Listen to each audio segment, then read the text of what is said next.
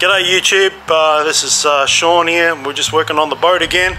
Today we'll be uh, doing a little bit of welding, or pad welding, uh, building up some of that uh, corroded area. Um, it's going to be a little bit tricky with setting up the camera and uh, unfortunately Reedy isn't here so we'll just get on with it.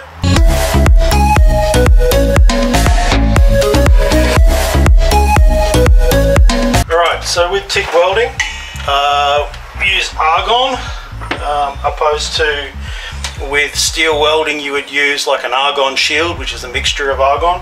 For uh, TIG welding aluminium you use a, a pure argon. Um, this is a pure argon. This is uh, provided by uh, Coregas which we just get from Bunnings. So it's there's no there's no rental on the bottle. So what I'm doing is just fitting fitting the gauge. I'll just fit the gauge up for the TIG welder. The argon um, goes around the weld, called a shield gas, so it stops air getting to the weld while you're welding. While the aluminium is a molten state, when you're welding, the shield gas stops the oxygen from getting to the actual weld. So a couple of things when you're TIG welding on a boat, um, to disconnect all the, uh, the batteries, um, usually if you just dis disconnect the negative sides of all the batteries, it should be alright. So you don't want any spikes in current from the welder going through the, the battery system, the power system, or you know, into the electronic equipment. So, so here we've got the, the TIG welding head, which I've just pulled apart while I was just talking. This is the probably the most uh, important piece. This is called uh, uh, the tungsten, or this is where the actual the weld comes off the tip of this to the material. Um, this has got to be super clean. I've just got to grind that, that tip down because it's, uh, it's a little bit dirty before we start. The tip of the tungsten that goes in the, the TIG welder so that uh, the scratches point straight out from the end of the tip rather than going around the tip. Hey, that's how I start off with my tip. Right, now what will happen as soon as I start to weld is uh, the, the point of that tip or the end of that tip um, will ball up. So the, the, the very end of it will melt a little bit so it'll become sort of more round. But we want it to do that. Um, and then um, it's only if it gets dirty again or if I accidentally dip it into the weld pool um, where it gets dirty and aluminium gets on the actual tungsten um, that you've got to pull out the tungsten and clean it again. Okay guys, well before we get into it, um, we're cleaning up the area. The aluminium that we're welding is uh, 5083. Uh, it's marine grade aluminium. So we're giving it a clean up with a stainless steel wire brush.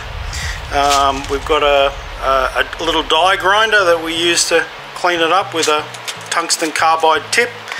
Um, and the filler rods we're using uh, 2 mil 5356 which is compatible with the, the 5083. Um, the TIG's ready to go. I've set up the camera behind another mask um, and we're going to basically fill in this area here. Hopefully you can see that area there and I can do this and you'll be able to see hopefully. What we're looking to do first is get the arc going, um, get a weld pool happening, so once there's a pull I'll be able to start adding material.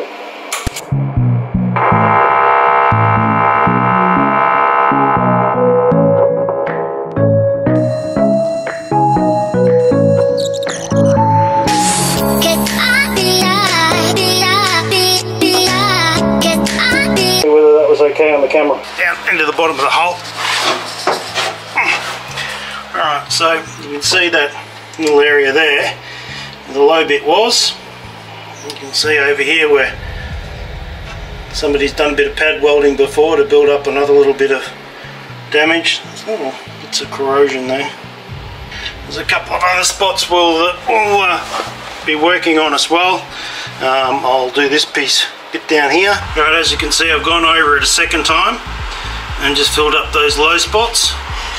Uh, just noticed a, another little low spot in here and we'll fill that in as well. Right, so we've, we've done up here, done along there, filled in the rest of that, filled in over this one. Those ones have been filled in previously. Filled in a little low spot there. I think this, uh, the rest of the section just really just needs a bit of a, a clean up. with the Dremel, I'll, I'll, if I find a, a spot like this little pit there, I get in and I take out any of the corrosion and then I'll basically come along with the TIG. There's the TIG head there. Um, and I will start that side. I'll build up a weld pool, so once it starts to pull, then I'll add material and come forward over the top of it, just fill it all in, so it sort of ends up pretty flat like that. And if I'm really um, being anal about it, I can I'll go over it with the, the sander and just flatten it all off. Um, the only reason, I, I mean, looking at the other repairs, they haven't bothered.